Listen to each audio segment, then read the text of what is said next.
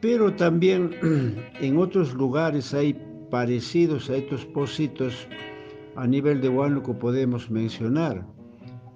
Por ejemplo, estos pocitos no me acuerdo haber contado, está al salir de Chavinillo, la capital de la provincia de Yahuilca, al salir hacia la Unión, hay un lugar que se llama Tacaj, un centro arqueológico. Al pie de este, este centro arqueológico Tacaj eh, están varios pocitos en una piedra grande. Y, y significa chancar, ¿no? Mm, preparar pocitos este, a través de piedras más duras chancando, ¿no? Hacen pocitos. También hemos encontrado otra piedra similar en las alturas de aquí, las alturas de Ayapiter, ya también en, en Chavinillo, las alturas. Ahí hay un centro arqueológico que corresponde al denominado mmm, ¿no?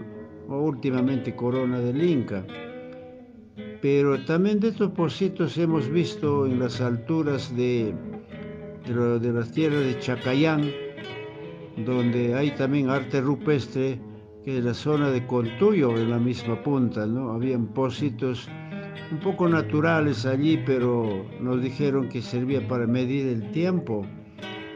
También de la misma manera hemos visto en las alturas del bosque de San Marcos, en el distrito de Umari, aquí en Panauia, ¿no?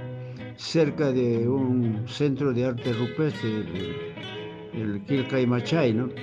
Entonces, de estas hay en todo el país, de topocitos tan pequeños como posiblemente para, que utilizaban también como manejo matemático, ¿no? Ahí depositaban, digamos, piedrecillas pequeñas, o granos como el maíz, eh, o, no sé qué otros granos había en ese tiempo. Entonces, por la cantidad de maicitos o por la cantidad de otros granos que se depositaban allí, se sabía cuánto de ganado se podía tener o cuánto se había cosechado. Sé que eran también los, eh, los, las primeras formas de manejo matemático, ¿no? Eh, esa, característica también ha tenido. Ahora, desde el punto de vista de las creencias, tenemos en las alturas de Margus, por ejemplo, el, denominado eh, Tocana, ahora castellanizando, es el Togana.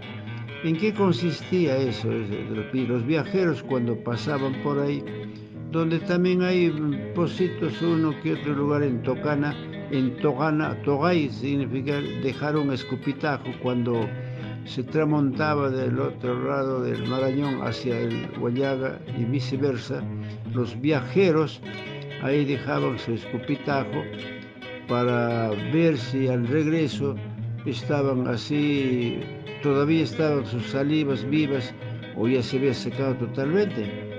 Si se había secado totalmente, ellos decían que se tendría corta vida, ¿no? O que los viajes podían ser, mm, como digo, de vuelta, o había sido mal, mal negocio los, intercambios que hacían, ¿no?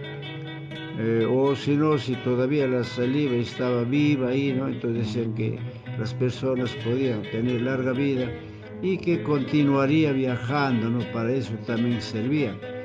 Ahora, estos muchcayos en otros lugares también eran reemplazados por pequeños montículos de piedras que eran las, eh, eh, los, como se que, que, ahora tienen diferentes nombres en castellano.